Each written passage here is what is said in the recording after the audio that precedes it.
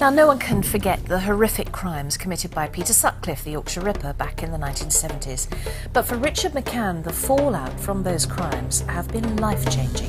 Today we talk to a man whose life was shattered when the Yorkshire Ripper murdered his mother when he was only five.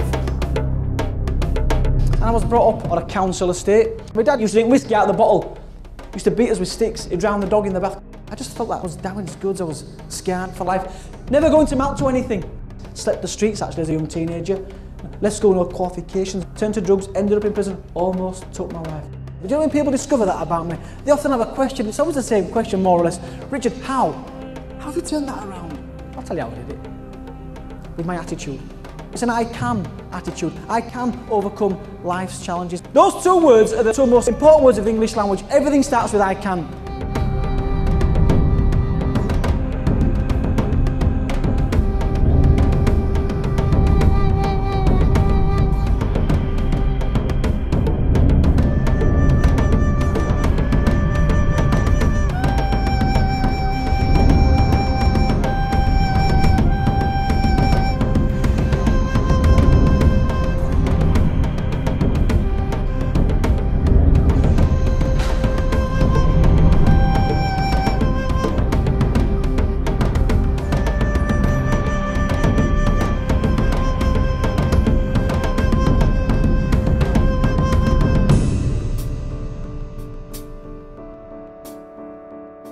This is about how we focus on the glass that's half full, what courage looks like in an organisation and how we tap into those resources that are not always visible at first. You see, when you climb through those windows of opportunity rather than looking through them, and you find the courage, it can often take you to a place that you never knew existed. I found Richard McCann's address the most moving, inspirational and courageous uh, address I've quite honestly heard in my entire life. A lot of people talk about being inspirational speakers, but Richard is truly inspirational. I thought it was spectacular. I've seen a lot of speakers. I spend a lot of money making sure I see some really good speakers, and I would put him in the top 0.5% of those.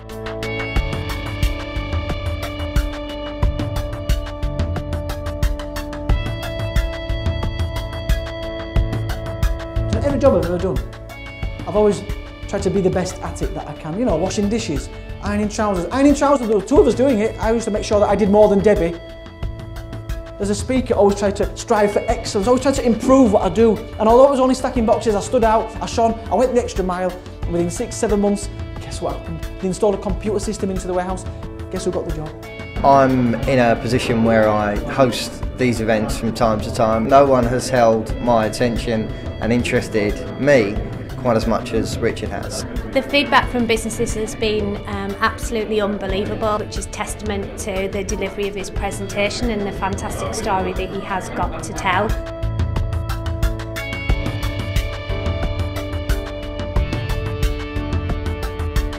I don't know how that six-year-old boy was able to, to grasp that ray of sunshine in that dark cloud, but what I know now as a 40-year-old man is that ability to focus on the positive when things are tough is something we've all got.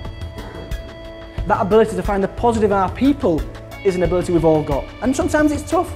genuinely I have never seen the final speaker of the day not lose a single person from the room. Not only does he have an extraordinary story to tell and a very powerful message that comes from it, he's a consummate professional. He constantly strives to improve. Um, he's totally reliable, he's utterly committed and he's a joy to work with.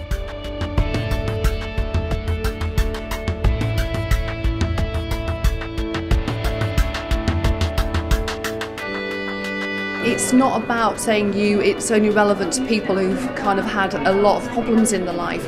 It's about that kind of positive attitude. I think you could speak to chief executives. Today we've had a mixture of um, tenants and tenants officers. Businesses will leave with a spring in their step and if they feel that they can't do something that um, they'll remember today and be able to move forward. I think uh, Richard has got so much to offer uh, and a whole facet of things that uh, he would be an excellent speaker to have at any event. If I can't overcome all that and go on to step outside my comfort zone, do those things that those around me aren't prepared to do. In fact, do those things that those around me don't expect me to do. and gone to be, do, achieve more than I ever dreamt possible. Listen, if I can, I mean this, if I can, well then you can too. My name's Richard McCann. You've been fantastic. Thank you very much.